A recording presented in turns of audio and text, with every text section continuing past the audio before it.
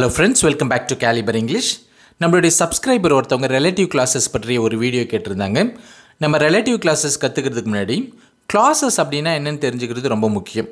அதனால் இந்த லெசனில் கிளாஸஸ் அப்படின்னா என்னன்றதுக்கு ஒரு ஷார்ட் இன்ட்ரொடக்ஷன் கொடுக்க போகிறேன் ஸோ இந்த வீடியோவை ஸ்கிப் பண்ணாமல் முழுசாக பாருங்கள் அதுக்கு முன்னாடி நம்ம சேனலுக்கு இது வரைக்கும் நீங்கள் சப்ஸ்கிரைப் இல்லைன்னா சப்ஸ்கிரைப் பண்ணிக்கோங்க. அப்படியே பக்கத்தில் இருக்கிற பெல் ஐக்கனை கிளிக் பண்ணி ஆல்ன்ற ஆப்ஷன் கொடுத்துக்குங்க. இப்போ வாங்க வீடியோக்குள்ளே போகலாம் clauses and introduction The only defining characteristic of a clause is that it is a group of words that must contain a subject and verb.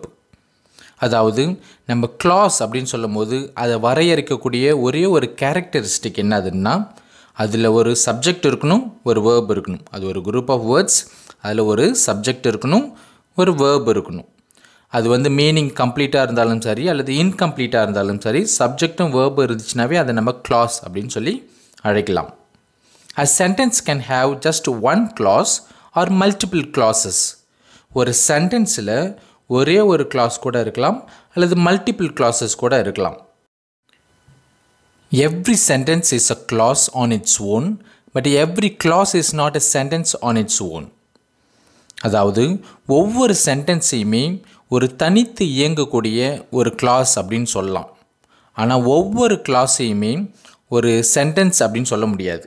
So காரணம் என்ன அப்படின்ட்டு கீழே பார்க்கலாம். இங்கே பாருங்கள் ஐ லைக் குக்கீஸ் ஸோ அப்படின்னா எனக்கு பிஸ்கெட்ஸ்லாம் பிடிக்கும் அப்படின்னு அர்த்தம். ஸோ இது ஒரு சென்டென்ஸ் ப்ளஸ் இதில் சப்ஜெக்ட் இருக்குது வேர்ப் இருக்குது அதனால் இதை கிளாஸ் அப்படின்னு சொல்லலாம். இதனுடைய மீனிங் வந்து கம்ப்ளீட்டாக இருக்குது ஐ லைக் குக்கீஸ் ஓகே அப்படின்னும் போது அதனுடைய மீனிங் கம்ப்ளீட்டாக இருக்குது. அதனால் இதை இன்டிபெண்ட் கிளாஸ் அப்படின்னு சொல்லலாம். ஓகே ஸோ இந்த இண்டிபெண்ட் கிளாஸ்னால் என்னது? அந்த கிளாஸ் அதனுடைய மீனிங் கம்ப்ளீட்டாக இருக்கிறதுக்கு இன்னொரு கிளாஸை வந்து சார்ந்து இருக்க வேண்டிய அவசியம் கிடையாது. ஸோ ஐ லைக் குக்கீஸ்ன்றது மீனிங் கிளியராக இருக்குது கம்ப்ளீட்டாக இருக்குது அதனால் இதை ஒரு இண்டிபெண்ட் கிளாஸ் அப்படின்னு சொல்லலாம். ஆனால் கீழே பாருங்கள் when I grow up I want to be a doctor நான் வளரும்போது நான் ஒரு டாக்டராக விரும்புகிறேன் ஒரு மருத்துவராக விரும்புகிறேன் அப்படின்னு அர்த்தம். இது வந்து ஒரு சென்டென்ஸ் தான். ஓகே இது ஒரே சென்டென்ஸ் தான். ஆனால் இங்கே எத்தனை கிளாஸஸ் இருக்குதுன்னு பார்த்தீங்கன்னா ரெண்டு கிளாஸஸ் இருக்குது வென் ஐ க்ரோ அப் அப்படின்றது ஒரு clause I want to be a doctor அப்படின்றது இன்னொரு clause when I grow up அப்படின்னு சொல்லும் போது நான் வளரும்போது. நான் வளரும்போது அப்படின்ற இந்த கிளாஸை மொட்டையாக சொன்னால் மீனிங் கம்ப்ளீட்டாக இருக்கான்னு பாருங்கள் இல்லை நான் வளரும்போது என்னாச்சு அப்படின்னு கேட்பாங்க இல்லையா?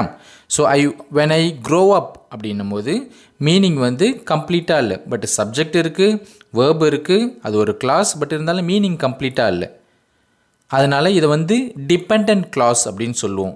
ஏன் இதை டிபெண்ட் கிளாஸ் அப்படின்னு சொல்கிறோன்னா இதனுடைய மீனிங் கம்ப்ளீட் ஆகிறதுக்கு பக்கத்தில் ஒரு இண்டிபெண்ட் கிளாஸ் தேவைப்படுது. I want to be a doctor I want to be a doctor அப்படின்ற கிளாஸை நம்ம தனியாக சொன்னால் கூட அதோட மீனிங் கம்ப்ளீட்டாக இருக்குது நான் ஒரு மருத்துவராக விரும்புகிறேன். ஸோ தனியாக சொன்னாலும் அதனுடைய மீனிங் கம்ப்ளீட்டாக இருக்குது அதனால் இது வந்து இண்டிபெண்ட் கிளாஸ் அப்படின்னு சொல்கிறோம் இண்டிபெண்ட் கிளாஸ்னால் இதனுடைய மீனிங் கம்ப்ளீட் ஆகிறதுக்கு இது இன்னொரு கிளாஸை சார்ந்து இருக்க வேண்டிய அவசியம் கிடையாது. இப்போ கீழே உள்ள எக்ஸாம்பிள் பாருங்கள் இது ஒரு சென்டென்ஸ் அந்த சென்டென்ஸில் கிளாஸ் இருக்குது ஓகே ஒரு சென்டென்ஸில் ரெண்டு கிளாஸஸ் இருக்குது ஆனால் ஒவ்வொரு கிளாஸையும் சென்டென்ஸ்னு சொல்ல முடியுமா? சொல்ல முடியாது. அந்த independent clause I want to be a doctor இதை வந்து நம்ம சென்டென்ஸ்னு சொல்லலாம். ஏன்னா மீனிங் கம்ப்ளீட்டாக இருக்கிறதால. ஆனால் வென் ஐ க்ரோ அப் அப்படின்னு சொல்லும் போது அதை ஒரு சென்டென்ஸாக நம்ம எடுத்துக்க முடியாது. ஏன்னா மீனிங் கம்ப்ளீட்டாக இல்லை. ஒரு சென்டென்ஸ்னால் மீனிங் கம்ப்ளீட்டாக இருக்கணும். அதனால தான் சொன்னேன் every sentence is a clause on its own but every clause is not a sentence on its own இன்னும் கொஞ்சம் விரிவாக பார்க்கலாம். A clause can function as independent or dependent one கிளாஸை நம்ம ரெண்டு கேட்டகரியாக பிரிக்கலாம். இண்டிபெண்ட் கிளாஸ் டிபெண்ட் கிளாஸ் அப்படின்னு சொல்லிட்டு ரெண்டு கேட்டகரியாக பிரிக்கலாம். இப்போ இன்டிபெண்ட் கிளாஸஸ்க்கு எக்ஸாம்பிள்ஸ்லாம் பார்க்கலாம். ஷீ க்ரைடு அவள் அழுதாள். ஐ லவ் ஈட்டிங் குக்கீஸ் எனக்கு பிஸ்கட்ஸ்லாம் இப்போ சாப்பிட்றது ரொம்ப பிடிக்கும். My dog barks a lot okay என்னுடைய நாய் ரொம்ப அதிகமாக குலைக்குது அப்படின்னு அர்த்தம். இந்த ஒவ்வொரு சென்டென்ஸையும் பார்த்தீங்கன்னா சிம்பிள் சென்டென்சஸ் தான். பட் இதில் சப்ஜெக்ட் இருக்குது வேர்ப் இருக்குது இதை நம்ம கிளாஸஸ் அப்படின்னு சொல்லலாம். இந்த சென்டென்சஸை இந்த கிளாஸை நம்ம தனியாக சொன்னால் கூட அதுக்கு வந்து மீனிங் வந்து கம்ப்ளீட்டாக இருக்குது ஸோ இதனுடைய மீனிங் கம்ப்ளீட் ஆகிறதுக்கு அது இன்னொரு சென்டென்ஸை வந்து சார்ந்து இருக்க வேண்டிய அவசியம் கிடையாது. அதனால் இதெல்லாம் நம்ம இண்டிபெண்ட் கிளாஸ் அப்படின்னு சொல்கிறோம் அடுத்ததாம் டிபெண்ட் கிளாஸஸ்க்கு சில எக்ஸாம்பிள்ஸ்லாம் பார்க்கலாம். ஃபர்ஸ்ட் சென்டென்ஸ் பாருங்கள் I didn't buy that dress since you didn't like it அந்த ட்ரெஸ்ஸும் உனக்கு பிடிக்காதால அந்த ட்ரெஸ்ஸை நான் வாங்கலை. அதான் சொல்ல வரோம் இது ஒரே சென்டென்ஸ் தான். ஆனால் இருந்தாலும் ரெண்டு கிளாஸஸ் இருக்குது சென்டென்ஸ் ஒன்று தான் பட் ரெண்டு கிளாஸஸ் இருக்குது I didn't buy the dress அப்படின்றது ஒரு clause since you didn't like it அப்படின்றது இன்னொரு கிளாஸ் இப்போ I didn't buy the dress அப்படின்னு சொல்லும் போது அதை நம்ம அந்த சென்டென்ஸை அந்த கிளாஸை நம்ம தனியாக சொன்னால் கூட மீனிங் வந்து கம்ப்ளீட்டாக இருக்குது அந்த ட்ரெஸ்ஸை நான் வாங்கலை அப்படின்ற மீனிங் கம்ப்ளீட்டாக இருக்குது அதனால் இதை வந்து இண்டிபெண்ட் கிளாஸ் அப்படின்னு சொல்லுவோம். ஏன்னா இதனுடைய மீனிங் முழுமை பெறுறதுக்கு அது இன்னொரு கிளாஸை சார்ந்து இருக்க வேண்டிய அவசியம் கிடையாது. ஆனால் since you didn't like it அப்படின்னு சொல்லும்போது உனக்கு அது பிடிக்காததால் அப்படின்னு சொல்லும் போது அந்த சென்டென்ஸ் அந்த கிளாஸில் வந்து முழுமை இல்லை. ஓகே கம்ப்ளீட் மீனிங் கிடையாது. அப்போ அது இண்டிபெண்ட் கிளாஸ் கூட சேர்த்து சொல்லும் போது தான் அதனுடைய மீனிங் வந்து முழுமை பெறும். அதனால் இதை வந்து டிபெண்ட் கிளாஸ் அப்படின்னு சொல்லுவோம். ஏன்னா இது இதனுடைய மீனிங் கம்ப்ளீட் ஆகிறதுக்கு அது இன்னொரு இண்டிபெண்ட் கிளாஸ் வந்து சார்ந்து இருக்கக்கூடியதாக இருக்குது. அதனால் இதை வந்து டிபெண்ட் கிளாஸ் அப்படின்னு சொல்லுவோம். அதே போல் செகண்ட் எக்ஸாம்பிள் பாருங்கள் she didn't understand the lesson although the teacher explained it well அதாவது டீச்சர் வந்து அந்த லெசனை நல்லா எக்ஸ்பிளைன் பண்ணியிருந்தாலும் கூட அவள் வந்து அந்த அவளுக்கு அந்த லெசன் புரியல. அதான் சொல்ல வரும் she didn't understand the lesson okay அவளுக்கு அந்த லெசன் புரியல. இது ஒரு கிளாஸ் இந்த கிளாஸ் நம்ம தனியாக சொன்னால் கூட மீனிங் வந்து கம்ப்ளீட்டாக இருக்குது அதனால் இது வந்து இண்டிபெண்ட் கிளாஸ்ன்னு சொல்கிறோம் although the teacher explained it well teacher வந்து அந்த லெசனை நல்லா எக்ஸ்பிளைன் பண்ணியிருந்தாலும் கூட அப்படின்ட்டு இந்த கிளாஸை நம்ம தனியாக சொல்லும் போது அதனுடைய மீனிங் கம்ப்ளீட்டாக இல்லை. அப்போ இதனுடைய மீனிங் வந்து கம்ப்ளீட் ஆகணும்னா இது இந்த இண்டிபெண்ட் கிளாஸ் கூட சேர்த்து சொன்னால் தான் கம்ப்ளீட் ஆகும் ஸோ அதனால் இதை வந்து நம்ம என்ன சொல்லுவோம்? டிபெண்ட் கிளாஸ் அப்படின்னு சொல்லுவோம். இந்த இண்டிபெண்ட் கிளாஸை நம்ம மெயின் கிளாஸ்னு சொல்லலாம். இந்த டிபெண்ட் கிளாஸை நம்ம சபார்டினேட் கிளாஸ் அப்படின்னு சொல்லலாம். Clauses play different roles in a sentence ஒரு சென்டென்ஸில் ஒவ்வொரு கிளாஸுக்கும் டிஃப்ரெண்ட் ரோல்ஸ்லாம் இருக்குது. A clause can act as a noun adjective or an adverb ஒரு கிளாஸ்ன்றது ஒரு நவுனாக செயல்படும் ஆஜெக்டிவாக செயல்படும் ஒரு அட்வர்பாகவும் செயல்படும். நவுனாக செயல்படுற கிளாஸை நம்ம நவுன் கிளாஸ் அப்படின்னு சொல்லுவோம். ஆஜெக்டிவாக செயல்படுற கிளாஸை வந்து ஆஜெக்டிவ் கிளாஸ் அப்படின்னு சொல்லுவோம். அட்வர்பாக செயல்படுற கிளாஸை வந்து அட்வர்பியல் கிளாஸ் அப்படின்னு சொல்லுவோம். இதையே கொஞ்சம் விரிவாக பார்க்கலாம். நவுன் கிளாஸ் ஸோ நவுன் கிளாஸ்க்கு எக்ஸாம்பிள் பாருங்கள் we heard your conversation we heard your conversation அப்படின்னா நாங்கள் உங்களுடைய கான்வர்சேஷனை கேட்டோம் அப்படின்னு அர்த்தம். இங்கே யுவர் கான்வர்சேஷன் அப்படின்றது ஒரு நவுன் இல்லையா? ஆனால் செகண்ட் சென்டென்ஸில் பாருங்கள் we heard what you told them we heard what you told them நீங்கள் அவங்கள்ட்ட என்ன சொன்னீங்கன்றதை நாங்கள் கேட்டோம் அப்படின்னு அர்த்தம். இங்கே யுவ கான்வர்சேஷனுக்கு பதிலாக வாட் யூ டோல் தம் அப்படின்ற ஒரு கிளாஸ் வந்திருக்கு. அந்த நவுனுக்கு பதிலாக இங்கே வந்து கிளாஸ் வந்திருக்கு. அது நவுனுக்கு பதிலாக வந்ததால் அதை வந்து நம்ம நவுன் கிளாஸ் அப்படின்னு சொல்கிறோம் அதுபோல் செகண்ட் எக்ஸாம்பிள் பாருங்கள் she completely understood his explanation இங்கே ஹிஸ் எக்ஸ்பிளனேஷன் அப்படின்றது ஒரு நவுன் இங்கே செகண்ட் சென்டென்ஸில் பாருங்கள் she completely understood what he explained அந்த ஹிஸ் எக்ஸ்பிளனேஷன் அப்படின்ற நவுனுக்கு பதிலாக வாட் ஹி எக்ஸ்பிளைன்ட் அப்படின்ற ஒரு கிளாஸ் நம்ம பயன்படுத்தியிருக்கிறோம் இங்கே பாருங்கள் ஹீன்ற சப்ஜெக்ட் இருக்குது எக்ஸ்பிளைன்ட் அப்படின்ற வேர்ப் இருக்குது. ஸோ இது ஒரு கிளாஸ் ஓகே இது ஒரு கிளாஸ் நவுனுக்கு பதிலாக பயன்படுத்தியிருக்கிறதால ஓகே இதை வந்து நம்ம நவுன் கிளாஸ் அப்படின்னு சொல்கிறோம் அடுத்ததாக adjective clause I like pink flowers எனக்கு பிங்க் கலரில் உள்ள பூக்களை பிடிக்கும் அப்படின்னு அர்த்தம். இந்த இடத்துல பிங்க் அப்படின்றது ஒரு adjective I like the flowers that are pink இங்கே பாருங்கள் இந்த பிங்க்ன்ற ஆஜெக்டிவ்க்கு பதிலாக தட் ஆர் பிங்க் அப்படின்ற ஒரு கிளாஸ் வந்திருக்கு. இங்கே ஆஜெக்டிவ்க்கு பதிலாக அந்த கிளாஸ் வந்திருக்கிறதால. அதாவது ஆஜெக்டிவ் செய்ய வேண்டிய வேலையை இந்த கிளாஸ் செய்கிறதால தட் ஆர் பிங்க்னா என்னது? பிங்க் கலரில் இருக்கின்ற அப்படின்னு அர்த்தம் இந்த இடத்துல.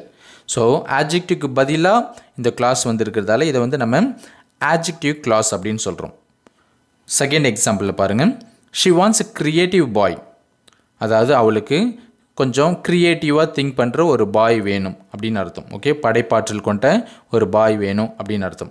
இந்த இடத்துல க்ரியேட்டிவ்ன்றது ஒரு ஆப்ஜெக்டிவ் செகண்ட் சென்டென்ஸில் பாருங்கள் she wants a boy who is creative இந்த இடத்துல ஹூ இஸ் க்ரியேட்டிவ் அப்படின்றது ஒரு கிளாஸ் மேலே கிரியேட்டிவ்ன்றது ஒரு அப்ஜெக்டிவ் அவ்வளோதான் பட்டு ஹூ இஸ் கிரியேட்டிவ்ன்றது இந்த இடத்துல ஒரு கிளாஸ் அதுவும் இந்த இடத்துல இதை ஆட்ஜெக்டிவ் செய்ய வேண்டிய வேலையை அந்த ஹூ இஸ் கிரியேட்டிவ்ன்ற கிளாஸ் செய்கிறதால அதை வந்து நம்ம ஆட்ஜெக்டிவ் கிளாஸ் அப்படின்னு சொல்கிறோம் அண்ட் தேர்ட்லி அட்வர்பியல் கிளாஸ் ஒரு ஆட்வர்ப் அப்படின்றது என்னது?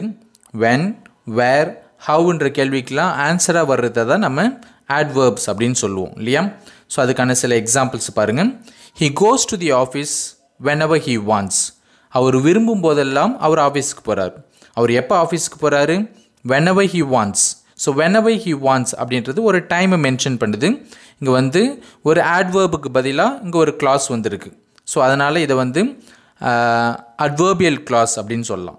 அதே போல் செகண்ட் எக்ஸாம்பிள் பாருங்கள் he goes wherever he wants அவர் எங்கே போகிறாரு where where does he go wherever he wants அவருக்கு எங்கெல்லாம் பிடிக்குதோ அங்கெல்லாம் போகிறார் ஸோ அவர் எங்கே போகிறாரு அப்படின்னு சொல்கிறதுக்கு இங்கே ஒரு கிளாஸ் வந்து வந்திருக்கு. ஸோ அந்த கிளாஸ் ஒரு ஆட்வர்ப் பண்ணுற வேலையை செய்கிறதால அது வந்து அட்வர்பியல் கிளாஸ் அப்படின்னு சொல்கிறோம் அந்த தேர்ட் எக்ஸாம்பிள் பாருங்கள் I bought the house after I got married அப்படின்னா நான் கல்யாணம் பண்ண பிறகு நான் வீடு அந்த வீடை வாங்கினேன் அப்படின்னு அர்த்தம். ஸோ அந்த வீட்டை நான் எப்போ வாங்கினேன்?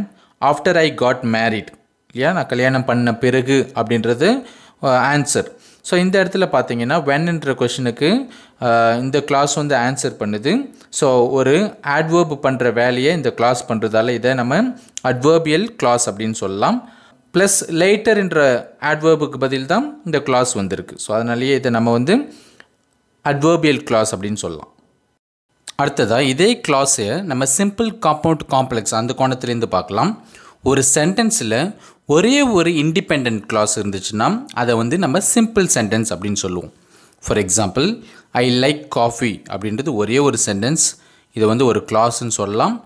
அதுவும் இண்டிபெண்ட் கிளாஸ் அப்படின்னு சொல்லலாம். ஏன்னா இதனுடைய மீனிங் கம்ப்ளீட்டாக இருக்குது அதனால் இதை வந்து நம்ம சிம்பிள் சென்டென்ஸ் அப்படின்னு சொல்லுவோம். அடுத்ததாக ஒரு சென்டென்ஸில் two or more independent clauses conjoined by coordinating conjunctions such as for and nor but or yet so இதை தான் நம்ம சுருக்கமாக ஃபேன் பாய்ஸ் அப்படின்னு சொல்கிறோம் ஸோ அதாவது ஒரு சென்டென்ஸில் ரெண்டு அல்லது அதற்கு மேற்பட்ட இண்டிபெண்ட் கிளாஸஸ் வந்து இப்போ சொன்ன அந்த கன்ஜங்ஷன்ஸ் மூலமாக இணைக்கப்பட்டிருக்குன்னா அதை வந்து நம்ம காம்பவுண்ட் சென்டென்ஸ் அப்படின்னு சொல்லுவோம். For example I like coffee and Mary likes tea I like காஃபின்றது ஒரு இண்டிபெண்ட் கிளாஸ் நம்ம தனியாக சொன்னாலும் அதனுடைய மீனிங் கம்ப்ளீட்டாக இருக்கும். மேரி லைக்ஸ் டீ அப்படின்றது அதுவும் ஒரு இண்டிபெண்ட் கிளாஸ் நம்ம தனியாக சொன்னாலும் அதனுடைய மீனிங் கம்ப்ளீட்டாக தான் இருக்கும். ஸோ இந்த ரெண்டு இண்டிபெண்ட் கிளாஸையும் இந்த அண்ட்ன்ற ஒரு கன்ஜங்ஷன் மூலமாக நம்ம இணைக்கிறோம். ஸோ இதை வந்து நம்ம காம்பவுண்ட் சென்டென்ஸ் அப்படின்னு சொல்லுவோம். அதே போல் தான் ஐ வென்ட் டு ஒர்க் நான் வேலைக்கு போனேன். But she went to party அவள் பார்ட்டிக்கு போனான் ஸோ இந்த ரெண்டுமே இண்டிபெண்ட் கிளாஸஸ் பட்டு ரெண்டுத்தையும் நம்ம பட்ன்ற ஒரு கன்ஜங்ஷன் மூலமாக இணைக்கிறோம். ஸோ இதை வந்து நம்ம காம்பவுண்ட் சென்டென்ஸ் சொல்கிறோம் அதாவது ரெண்டு அல்லது அதற்கு மேற்பட்ட இண்டிபெண்ட் கிளாஸஸை நம்ம இந்த கன்ஜங்ஷன்ஸ்லாம் யூஸ் பண்ணி கனெக்ட் பண்ணோன்னா அதை வந்து நம்ம காம்பவுண்ட் சென்டென்ஸ் அப்படின்னு சொல்கிறோம் ஸோ நீங்கள் ஒன்று கவனிக்கணும். இங்கே ரெண்டு கிளாஸஸ் இருக்குது ஆனால் ஒரே சென்டென்ஸ் தான். அண்ட் ஃபைனலாக ஒரு சென்டென்ஸில் one independent clause and one or more dependent clauses இருந்துச்சுன்னா அது வந்து நம்ம காம்ப்ளெக்ஸ் சென்டென்ஸ் அப்படின்னு சொல்லுவோம். For example if you study well you will pass the exam நீ நல்லா படித்தன்னா நீ எக்ஸாமில் பாஸ் பண்ணுவேன் அப்படின்னு அர்த்தம். இஃப் யூ ஸ்டடி வெல் அப்படின்றது ஒரு clause you will pass the எக்ஸாம்ன்றது இன்னொரு clause if you study well அப்படின்னா நீ நன்றாக படித்தாய் என்றால் இந்த கிளாஸ் நம்ம தனியாக சொன்னால் மீனிங் கம்ப்ளீட்டாக இருக்கா? இல்லை இல்லையா? ஸோ இதை வந்து நம்ம டிபெண்ட் கிளாஸ் அப்படின்னு சொல்லுவோம். You will pass the exam நீ எக்ஸாமில் பாஸ் பண்ணுவேன். அப்படின்றது நம்ம தனியாக சொன்னாலும் கூட அதனுடைய மீனிங் கம்ப்ளீட்டாக இருக்குது அதனால் இதை வந்து இண்டிபெண்ட் கிளாஸ் அப்படின்னு சொல்லுவோம். அப்போ இந்த சென்டென்ஸில் பார்த்தீங்கன்னா ஒரு டிபெண்ட் கிளாஸ் இருக்குது ஒரு இண்டிபெண்ட் கிளாஸ் இருக்குது ஆனால் போன முறை பார்த்த அந்த காம்பவுண்ட் சென்டென்ஸ் இருக்கு இல்லையா? அதில் ரெண்டுமே இண்டிபெண்ட் கிளாஸஸ் தான்.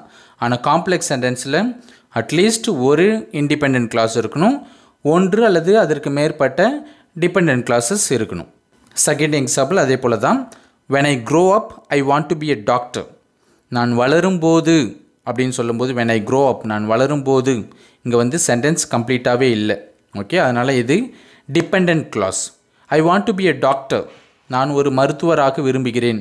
இதை வந்து நம்ம தனியாக சொன்னாலும் கூட சென்டென்ஸ் வந்து கம்ப்ளீட்டாக தான் இருக்குது அப்போ இதை வந்து இண்டிபெண்ட் கிளாஸ் அப்படின்னு சொல்கிறோம் ஸோ இந்த சென்டென்ஸ்லேயும் பார்த்தீங்கன்னா ஒரு இன்டி ஒரு டிபெண்ட் கிளாஸ் இருக்குது ஒரு இண்டிபெண்ட் கிளாஸ் இருக்குது அதனால் இதை நம்ம காம்ப்ளெக்ஸ் சென்டென்ஸ் அப்படின்னு சொல்கிறோம் தட்ஸ் ஆல் இந்த லெசன் வந்து கிளாஸஸ்க்கான ஒரு ஷார்ட் இன்ட்ரொடக்ஷன் தான். ஹோப் யூ அண்டர்ஸ்டுட் ஸோ அடுத்த லெசனில் ரிலேட்டிவ் கிளாஸஸ்னால் என்ன அப்படின்றத நம்ம டீட்டெயிலாக பார்க்கலாம்.